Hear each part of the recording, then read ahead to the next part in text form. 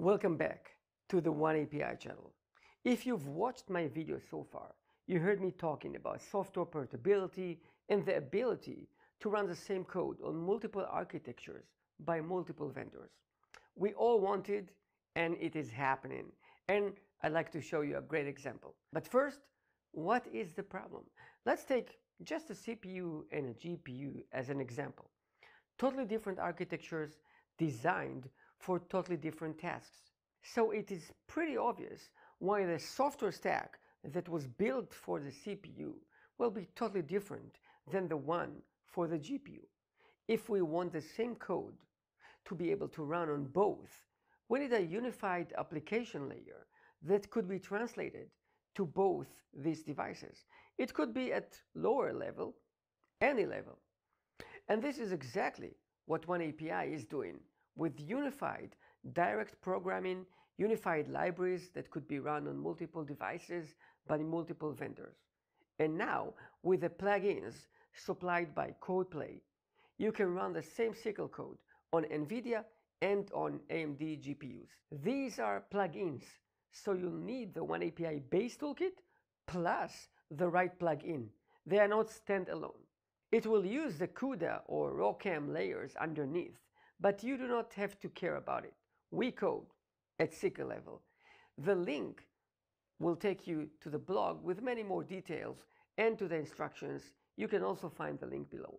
And of course, I've managed to get an NVIDIA GPU and tried it myself. Let me show you. So first, I'm getting the oneAPI base toolkit. And then just follow the instructions here. I'll leave you the link. I'll follow the support for NVIDIA GPU. AMD guide is also here. And I actually have an RTX 4000, which is not here in the supported platforms, but it just worked. I have Ubuntu. You have here instructions for almost every OS flavor.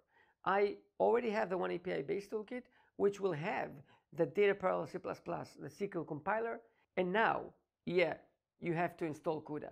It takes some time, but it works smoothly as well. And now, download the plugin from CodePlay. Install, and you're all set. So I have the base toolkit and the plugins installed. So let's initialize oneAPI. And here is a nice trick. Just type SYCL-ls and you can see all the devices detected on this system. You can see here the FPGA emulator that comes with the oneAPI base toolkit, my Xeon Gold CPU, and an NVIDIA RTX 4000. All are detected by SYCL now. Pretty cool. As a real example, I'll show you the n-body simulation. Check out my other video for the full details. This is a code it was automatically converted from CUDA using SYCLomatic. It takes a minute and zero coding. It looks like C++, it is SYCL, and here we submit the kernel to the execution queue. This queue is attached to the default device, usually the GPU. So if you want to run the kernel on the CPU, I have to get a queue attached to the CPU. So really minor change here of the device that we select will move the kernel from the CPU to the GPU or other device. But I'll show you even nicer trick.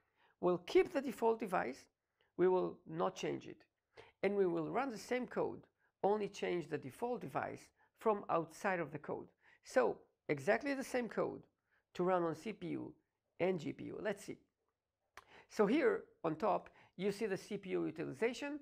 On the bottom, you see the GPU utilization. And I'm running the n-body simulation. I set the default device to be CPU and it is running. On my Xeon CPU, about 60 milliseconds for the kernel, you can see that the CPU has 11 cores working and this GPU is only doing the graphic rendering. And now I'm using the same code. I'm just going to change the default device to GPU. And yes, the same SYCL code is running on the RTX 4000. Kernel time is great, 5-6 milliseconds. Only two CPU cores are working and the GPU is doing the compute and the graphics. Is it cool or what? So the ability to run the same code on a CPU by Intel and a GPU by NVIDIA, and other, is just the beginning. And I really hope to see more companies building such plugins for their preferred hardware. Try it out, subscribe, enjoy. Thank you.